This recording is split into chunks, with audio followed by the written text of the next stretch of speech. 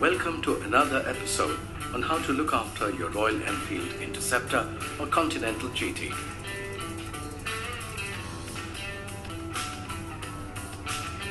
It's useful to know how to remove the wheels from your motorcycle in case a tire gets punctured.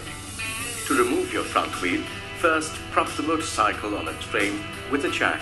If a jack isn't available, get somebody to press down on the rear wheel. Remove the fork pinch bolt in the right fork leg.